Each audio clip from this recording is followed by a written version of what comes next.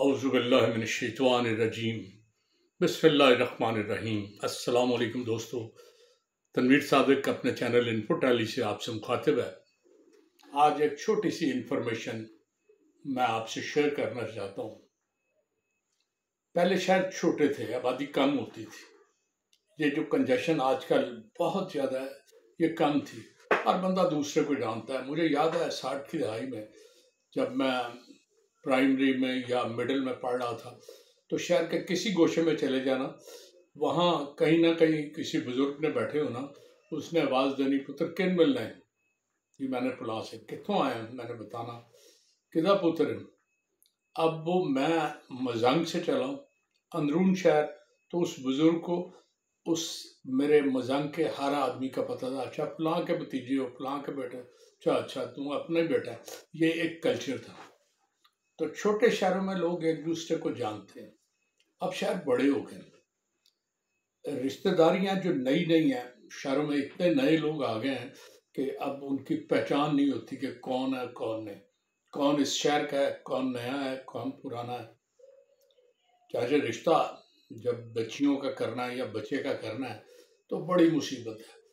اخبار والوں سے رجوع کرنا پڑتا ہے۔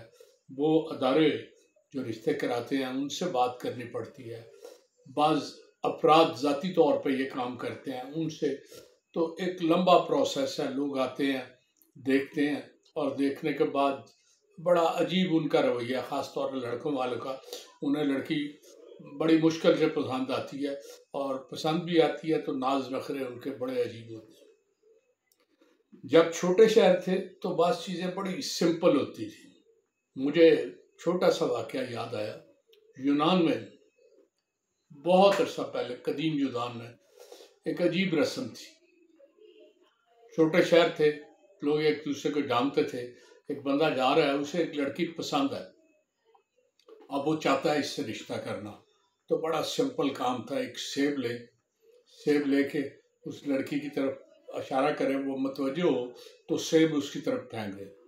وہ سیب اگر پکڑ لے تو اس کا مطلب ہے جس طرح سیب اس کی جولی میں گرا ہے، وہ بھی آپ کی جولی میں آ گری ہے۔ آپ کا رشتہ پکا۔ آپ اس سے بات کریں۔